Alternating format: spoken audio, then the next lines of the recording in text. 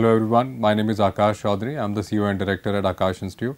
आज मैं आप लोगों के सामने आया हूँ। आप लोगों को जे एडवांस के एग्ज़ाम के लिए ऑल द बेस्ट बोलने। तो ये एग्ज़ाम बहुत ही इंपॉर्टेंट है। इसका पहला पड़ाव आप लोगों ने पार कर लिया है जेई मेन क्वालिफाई करके। आई एम श्योर उसके लिए आपने बहुत मेहनत की थी और बहुत कुछ सीखा भी होगा जेई मेन के एग्ज़ाम से कि क्या क्या चीज़ें आपने उस एग्ज़ाम में की जो आपको इस बार जे एडवांस के एग्ज़ाम में दोहरानी नहीं है। तो सबसे पहली बात तो मैं आपको ये कहना चाहूँगा कि ये एग्ज़ाम कहा जाता है कि बहुत मुश्किल एग्ज़ाम है but I would say it is a different exam ये डिफरेंट क्यों है? क्योंकि सबसे पहली बात ये आपके कॉन्सेप्ट की डेप्थ को जानना चाहता है, परखना चाहता है। और दूसरा, ये आपकी सहनशीलता को, आपके स्ट्रेस को, आपकी नर्व्स को भी टेस्ट करता है एक पूरा छः घंटे का टेस्ट देके। तो ये एग्ज़ाम इसलिए डिफरेंट है डिफ़िकल्ट नहीं है अगर आप उसकी पढ़ाई, उसकी अप्रोच उसकी मेहनत ठीक से करते हैं। तो सबसे पहली बात मैं आपको बताना चाहूँगा जो आपको हमेशा दिमाग में रखनी है जे एडवांस एग्ज़ाम जाने के लिए। इस समय कोई भी नया टॉपिक कोई नया इशू या नया कॉन्सेप्ट को आपने अपने सामने नहीं लेके आना है। ये एक ऐसा टाइम है जहाँ आपने टेस्ट देने हैं मॉक टेस्ट देने हैं पूरे पूरे टेस्ट देने हैं ताकि आप सबसे पहली बात एक एग्ज़ाम के पैटर्न से और ज़्यादा करीब आ जाएँ। और ज़्यादा उसको अपने अंदर अपना लें। दूसरी बात, जब आप इस तरह के टेस्ट देते हैं एग्ज़ाम से पहले तो ये टेस्ट आपके पूरे के पूरे सिलेबस को रिवाइज़ करने का माध्यम भी बन जाते हैं। So this is very important कि आपका जब एग्ज़ाम आ रहा है, आपको सारा सिलेबस रिवाइज़ करना आप कितनी किताबें पढ़ेंगे, कितने टॉपिक्स पढ़ेंगे तो एक टेस्ट जो हैं, इनको आप अगर ध्यान लगा के करते हैं बैक टू बैक तो आपको ना केवल एक टेस्ट की तैयारी का आइडिया लगेगा बट ऑल्सो आपका पूरा का पूरा सिलेबस एकदम से रिवाइज हो जाएगा। दूसरी बात मैं आप लोगों को बोलूँगा कि जैसा आप जानते हैं कि एग्ज़ाम छः घंटे का है तीन तीन घंटे के दो पेपर होंगे। तो आप अगर प्रैक्टिस टेस्ट देना भी चाहते हैं please give those test in actually जो जे एडवांस का टाइमिंग है, नौ से बारह और दो से पाँच, ताकि आपको एक पूरा का पूरा एक्सपीरियंस एक पूरा का पूरा सही रिहर्सल मिले। और मैं, ये नो काफ़ी बच्चे हमारे पास आते हैं कि भाई हमने एग्ज़ाम दिया हम लोग टायर्ड फील करने लगे, हम लोग का स्टेमिना गिर गया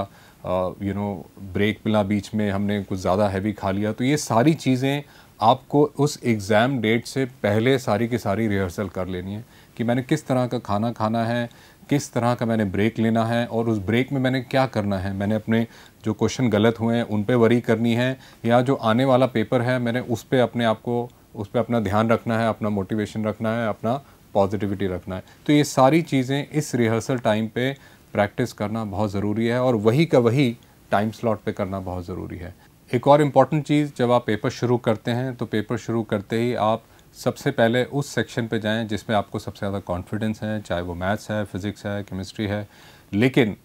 आप उस सब्जेक्ट्स में भी जो अपना सॉल्व करना शुरू करते हैं, उसमें आपने देखना है कि सबसे पहले मैं वो क्वेश्चंस पे नज़र मार लूँ कि इसमें किस तरह के क्वेश्चंस हैं और उन क्वेश्चन को सबसे पहले अटैम्प्ट करूँ, जो मुझे लगता है कि मेरे से आसानी से हो जाएँगे। 10-15 मिनट में आप पाँच या छः या सात क्वेश्चंस कर पाएँगे। तो आपके अगर 20 क्वेश्चंस आते हैं 25 क्वेश्चन आते हैं, जो भी आईआईटी एडवांस इस बार पैटर्न इंट्रोड्यूस करता है, आपने पहले तो उस सेक्शन को अपने सब्जेक्ट के स्कैन कर लेना है और ये जान लेना है कि मेरे इस पेपर के अटैम्प्ट में मुझे किस तरह की स्ट्रैटेजी बनानी है। और जैसा कि आप जानते हैं JEE advance is very well known to introduce new patterns new types of questions तो अगर ऐसा कोई नया टाइप ऑफ़ क्वेश्चन या कोई नया पैटर्न आता है तो उस पैटर्न के डिटेल्स को आप बड़े ध्यान से पढ़िए।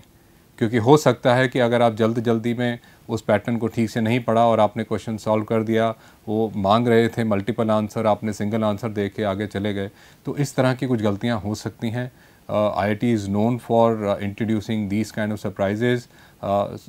you know, questions and concept will remain same, but these patterns may, you know, deter you from your great success. तो उसको ध्यान से पढ़िएगा और उसके बाद ही अपना अटेम्प्ट शुरू कीजिएगा उन स्पेसिफिक क्वेश्चंस पे। कई बार क्या होता है, बच्चे बड़े बड़े क्वेश्चंस देख के घबरा जाते हैं। हमारा ये एक्सपीरियंस रहा है कि जब क्वेश्चंस लंबे होते हैं, वो उतने ही आसान होते हैं। उसकी स्टेटमेंट लंबी लंबी होने की वजह से उसको कॉम्प्रीहेंड करने में कई बार बच्चे गलती कर जाते हैं और वो क्वेश्चन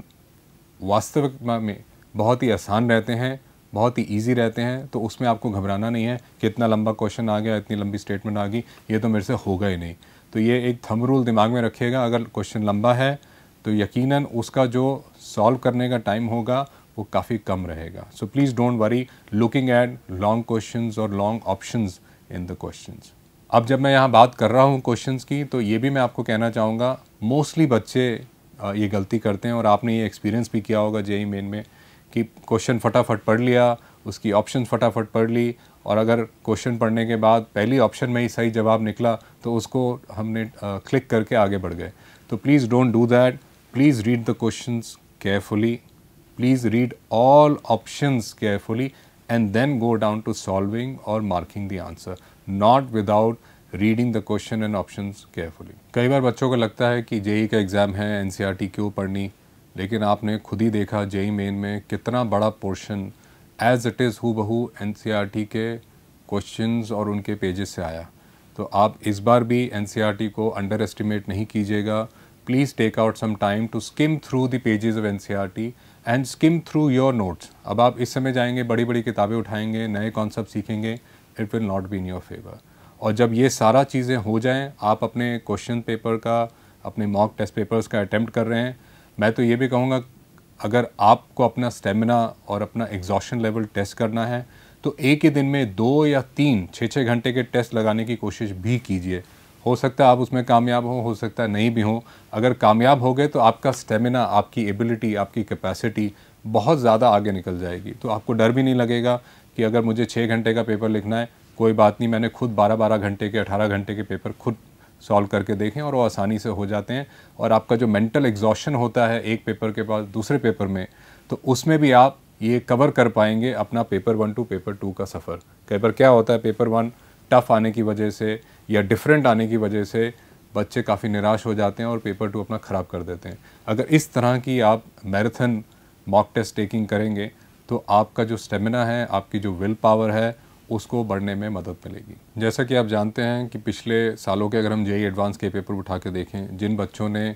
45, 50 या 55 परसेंट तक करेक्टली पेपर सॉल्व किए हैं उनका ना केवल आईआईटी में सिलेक्शन हुआ है पर एक अच्छा कॉलेज और अच्छी स्ट्रीम भी मिली है। तो आपको अपनी स्ट्रेटजी बिल्कुल अच्छे से बना के चलनी है कि मैंने जेई के एग्ज़ाम में अपना वो 50 55 परसेंट क्वेश्चन पेपर्स के क्वेश्चंस को ढूंढ लेना है और उनको हमने बिल्कुल सही तरीके से करना है ताकि हम अपनी सीट पक्की कर सकें। और हम तो ये कहते हैं कि अगर ये तीन घंटे का पेपर है, आप कोशिश कीजिए ढाई घंटे में या दो घंटे, पैंतालीस मिनट में ये पूरा का पूरा पेपर आपका सॉल्व हो जाए ताकि लास्ट के पंद्रह बीस मिनट या आधा घंटा आपको मिले एक बार उन सारे क्वेश्चंस को दोबारा देखने के लिए कि कहीं कोई कैलकुलेशन की गलती तो नहीं रह गई। स्पेशली uh, जो चीज़ें हैं जैसे मान लिया इनऑर्गेनिक में जहाँ थोड़ा आपको रिकॉलिंग की ज़रूरत पड़ती है तो एक बार दोबारा से उनको देख लिया कि भाई ये मैंने सही रिकॉल किया है कि नहीं किया है। तो ये छोटी छोटी चीज़ें हैं जो आपको अपने दिमाग में रखनी है and this will become a strong foundation for a great success that you are expecting from J advance exam last में मैं आपको यही कहना चाहूँगा इस एग्ज़ाम के लिए आपने बहुत मेहनत की है आपने बड़े सारे पड़ाव पार किए हैं जे मेन भी पार किया है अच्छे नंबरों से। अब आप बिल्कुल लास्ट स्टेज पे आ गए हैं। तो आप ऐसा कोई भी काम ना करें जिससे कि आपकी हेल्थ आपके मोमेंटम आपकी मेंटल बैलेंस इन सब पे कोई नुकसान या कोई प्रॉब्लम आए। तो आप अभी ये लास्ट का हफ़्ता रह गया है, कुछ ही दिन रह गए हैं, कुछ ही समय रह गया है। आप पूरी फोकस रखें, आप बिल्कुल घर पे रहें और ये कोरोना का माहौल चल रहा है। बाहर जाने की कोई ज़रूरत नहीं है, आप हो सकता है कहीं कोई वायरस कैच कर ले, कोई बीमार हो जाए, या आपको कोई आपकी एफिशिएंसी में कोई कमी आ जाए। So please be very careful that entire hard work of one year two years is dependent on that single day तो आप उस दिन के लिए अपने हेल्थ को फिज़िकली मेंटली इमोशनली बिल्कुल स्ट्रांग रखेंगे और बिल्कुल भी डेटर नहीं होंगे। ये बहुत इंपॉर्टेंट और बहुत ही सुनहरा मौका है आपके लिए, आपके इस हार्डवर्क को सक्सेस में तब्दील करने के लिए। Please go with full energy secure yourself and be ready for the exam और जैसा हमने पहले जेई मेन में भी कहा था कि एग्ज़ाम की तैयारी के लिए बिल्कुल वही माहौल में मॉक टेस्ट दीजिएगा उसकी तैयारी के लिए आप अपने ग्लव्स पहने हैं, आपने मास्क पहना है सैनिटाइज़र है बॉटल है